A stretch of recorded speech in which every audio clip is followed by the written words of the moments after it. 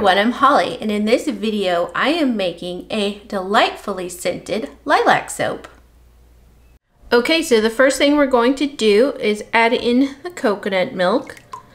I had made quite a few animal milk soaps, so it's time to get back to some vegan options.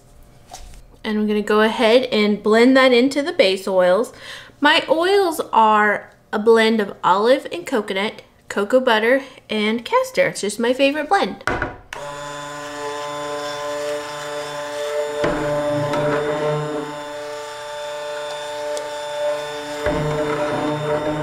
Gonna add in my lye solution now. And I have almost zero Lylint on it today, which is nice. Temperature is fairly consistent up here today. Sometimes I start cold and have to work to get it warmed up, but today it was already pretty warm. I'm going to bring this to emulsification and then split it off into other containers. I need to burp the stick blender.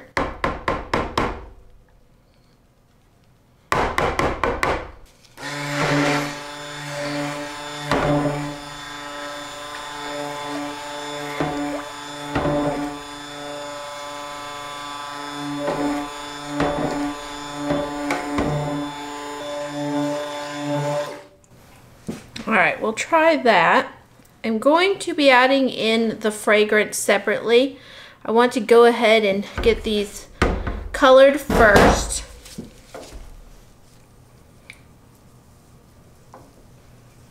I need to go to the 3000 marker on here. I know I say ml, but somebody asked me once, why do I do that? Well, because I don't usually use this uh, system for measuring. So to me, ml was just ml, but apparently you're supposed to say mils. So I don't know. I'm going to the 3,000 mark on these pictures.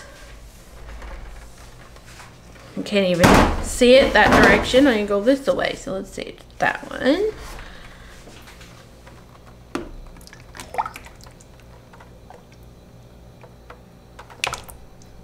So I just made a rainbow batch and so I know what amounts I need here, which was nice.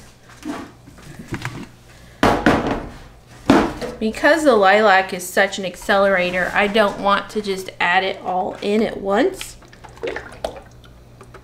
So I'm gonna kind of just do a, a layered design.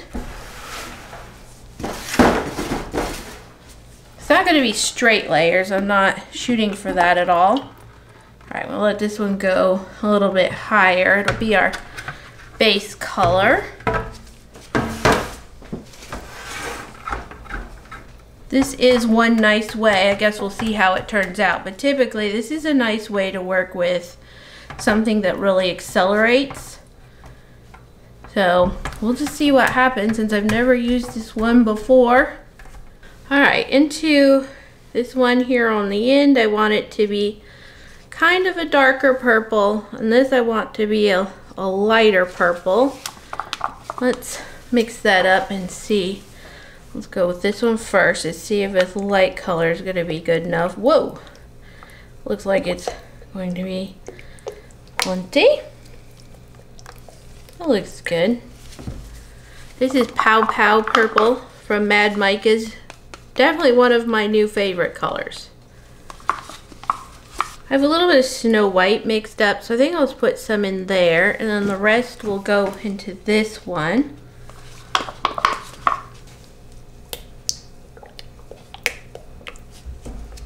It's kind of fun to work with a kind of a whiter color without it having water in it. Alright, so let's see how this purple is going to turn out. Hopefully Oh yes, quite a bit darker than this one. I was sure hoping that it would pack a punch here, and it certainly does. Nice, it's very pretty. And then we have this medium color. That's very pretty.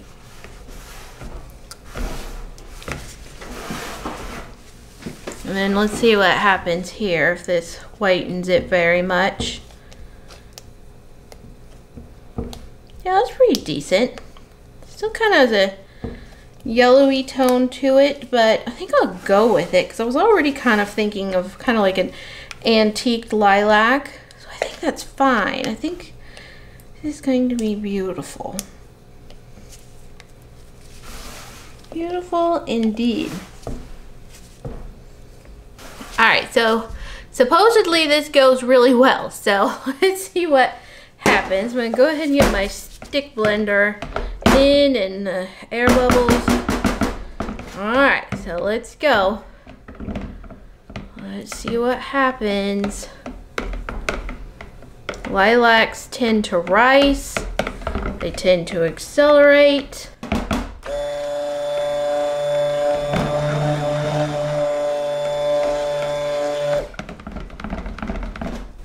Now this is looking wonderful. Now here's the thing.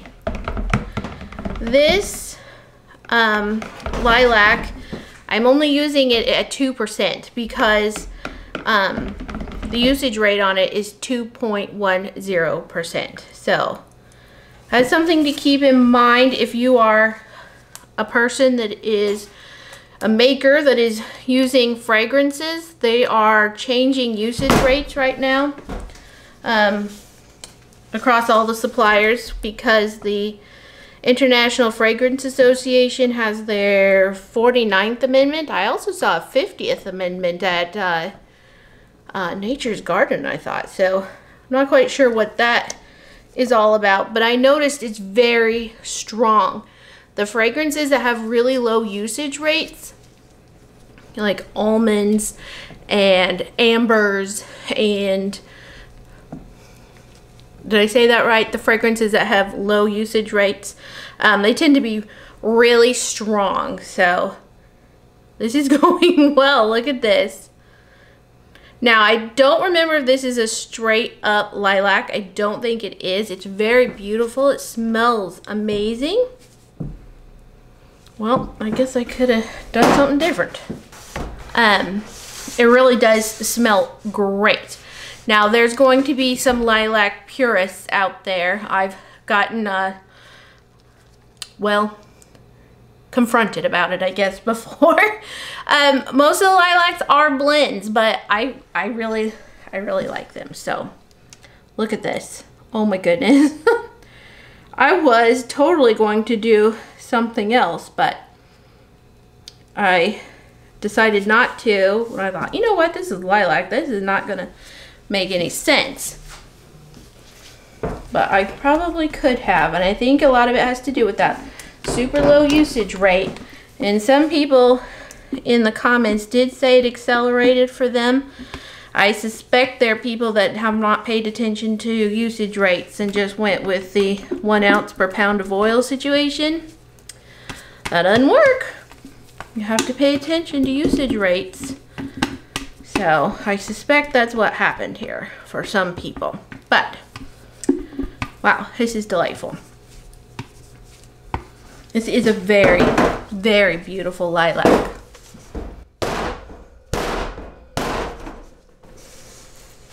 I mean, you're not going to be like, what is this? Is it lilac? I can't tell. It is lilac. If you know what a lilac smells like, you're going to say this is lilac. Lilac is my all-time favorite flower. And where we grew up, where I grew up, I'm the only one in this house that grew up there. in Montana, we had just an epic lilac. I think we had a, at least two or three. I'm not fully remembering. Anyway, we had amazing lilacs. And I just love them. And I never really got to have much in Missouri. This is not working for me. Try this. Um, never really had much for lilacs in Missouri. And we planted a rather small lilac, but we had planted it, this was in our house at um, outside Kansas City in Belton. And we had um, we planted just a really small lilac bush over some trees that we'd taken out and their roots were there. Well, they must have provided a lot of nutrients because best lilac ever. It grew so big that it was in front of my living room window. And that was uh, pretty high because it was one of those uh, split level type houses. Anywho's it, let's move on. I was very sad to leave that lilac behind. Just one of my absolute favorites. So, five years ago, we were living down here. Five years ago, we went to back to Montana. I had I've only been to Montana twice since I left in 1995, which is very sad, but anywho's it's five years ago almost. We went back. First time my kids had been there. And um it was lilac season. I couldn't even believe it. I was the happiest camper. I was legit in my RV too, but I was a happy camper. They're huge in Montana. They're just like super tall. They were everywhere. I remember going through Arlee and that's um, on 93 between Missoula and Ronan where I grew up. Oh my gosh, Arlee and Ravalli and through there. Oh, it's just amazing.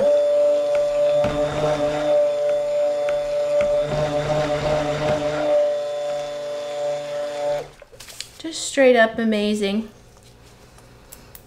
And there was a lot by the lake at Flathead and Polson and we would drive back and forth and just the scent wafting out. We had the lilac, we had the pine tree, and then you had that lake air.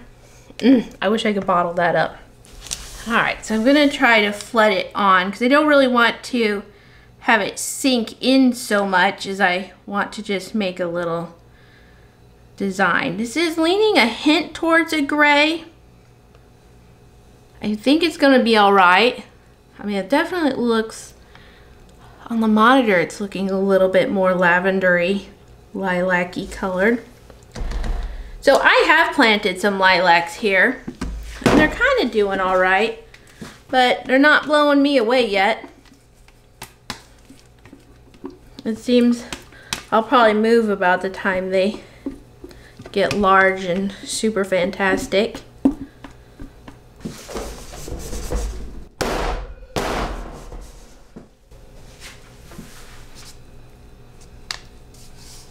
Alright, going to kind of texture this part again. I took some time to clean up my stick blender because I want it to be clean since this last layer is kind of like a whitish layer.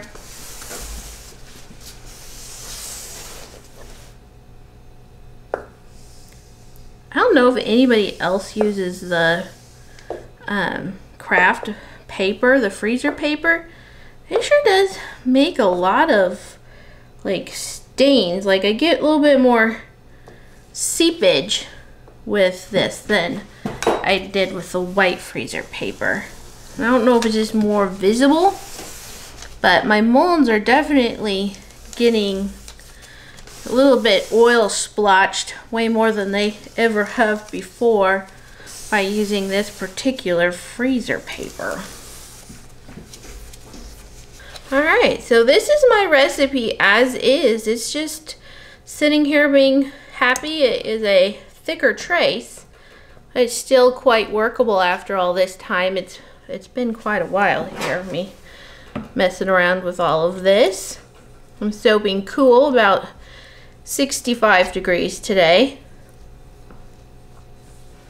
I think my, that's the room temperature, and I'm pretty sure this was at room temperature by the time I got started. Um, it was a little bit warmer in the 70s there for a while, but that was before I even started my last batch, which was a rainbow, so.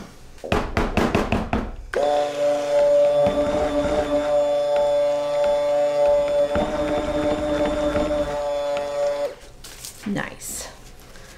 Well, this is probably the happiest batch of lilac soap I've ever made. I did do one for the farmhouse. I think it was last year. So it was just a solid color and it, it went pretty well doing it that way also. But as far as having time to really color and work with a batch, this is amazing. All right, let's put on this final layer. I just can't even. I have been having a really good run at soap making recently.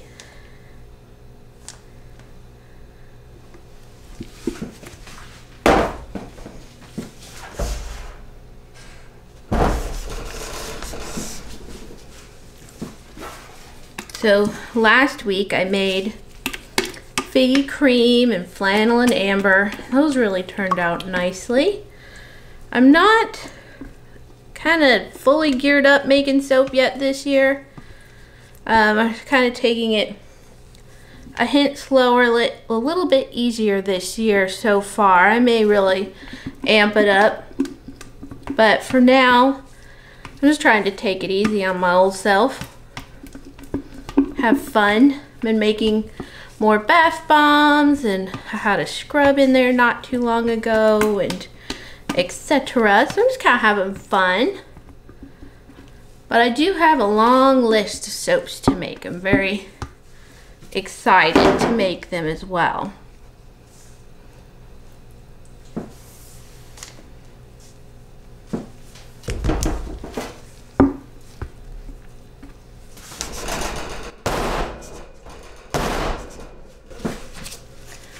Was originally thinking that I was going to drizzle some of the purple mica on the top. And then I realized it was pretty much just going to be the same design as my figgy cream on top. So I decided I wasn't going to do that. I haven't quite decided what I'm going to do.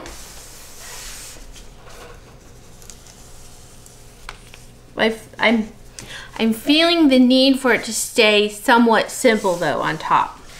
I feel like as makers, we spend a lot of time sometimes on the top. I personally, real I realize that I really don't pay much attention to the top of soaps after, after it's out of this particular situation. This kind of has, so that has kind of allowed me just to ease up a little bit on you know, trying to decide what I'm going to do on the top. Knowing me though, that means my next batch will probably have just the wildest top because it seems like whenever I say stuff like that, I end up going against my own statement. I just roll with the punches and if I'm inspired to do something, by golly, that's just what I do. So I think I'm just going to leave this plain. I just, I'm seeing just a very subtle, just a cute little layered soap, classic lilac scent. And I just think this is going to be perfect for it.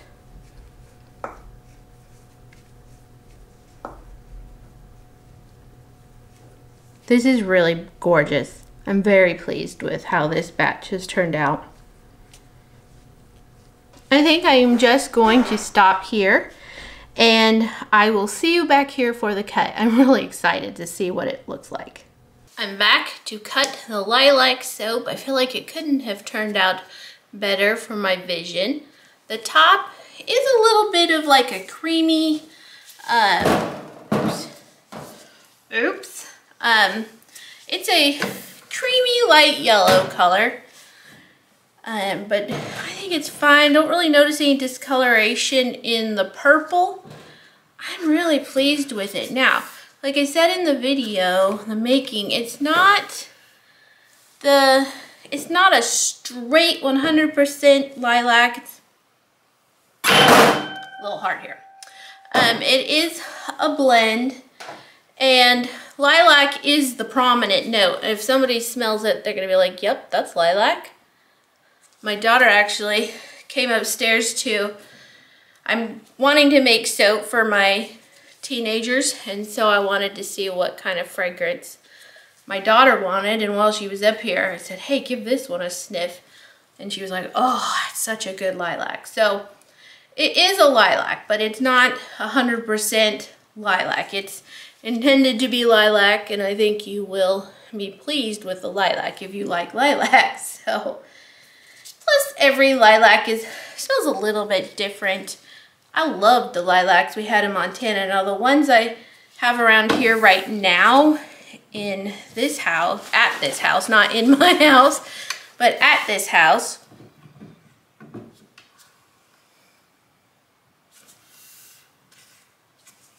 They're a little different variety, a little uh, smaller of a flower. And so they have just a little bit of a different fragrance, I think. I love the uneven layers. You know I love to make layered soaps, but I also like a kind of a messy haphazard layer as well. These are the other two soaps sitting on my curing rack right now. So we have Figgy Cream here and Flannel and Amber, both obviously. Very stripy, very straight layers. I love a straight layered soap too. Spring is definitely popping around here. My daffodils did not bloom again this year. They they get there, they're like, you're like, come on, you can do it, daffies. They're like, they're so close. They're yellow and like poofy and they're just like, okay, well, we're done. We showed up. They're very, they don't have a lot of motivation apparently for the, the spring season. I had, I had hopes this year that they would go ahead and do their thing, but they did not. But all the the red buds are starting to pop and the grass is as green as could be. We've already started mowing and where storms are coming. Have some wicked wind today. We don't have storms today, just the wicked wind. Apparently it may snow overnight. Whatever, I don't know anymore of this country. I mean, it was 75 the other day. Gonna snow tomorrow whatever, I guess. Looks like I have a little something on my wire. I don't know if you can see it, but it picked it up on that cut and drug it through. This thing is so squeaky every now and again. I don't get it. I planted some radishes and some spinach and some peas and what else they my kids mostly helped me do the planting. And then I have some seeds going indoors as well. We have carrot, not carrots, tomatoes and all some peppers and all manner of delightful things. We've got my garden all worked and ready to go. We did a little bit of changing to it this year. So I'm really excited for the weather to warm up for good. so that we can get the rest of the garden planted. I bought some flowers from Floret. Oh, what's the rest of it? Floret Farms? Oh, shoot. I was not able to get dahlias because I was a little late to the party on the seed release, but I got some cosmos and some zinnias and I was really excited to plant them. And I really, really want to plant some dahlias. So I definitely need to be a little faster. I also follow, I think it's Triple Wren Farms. I thought they were gonna have some seeds too, but honest to goodness, I'm not paying close enough attention to these things. So I kind of, even though I've signed up for newsletters, I don't always, I don't always catch them. So what are you excited about planting this year? And have you planted things already? So here we have the lilac soap for this year. It's so pretty, smells amazing. I love purple. I love purple so much. All right, guys, thanks so much for watching and happy spring.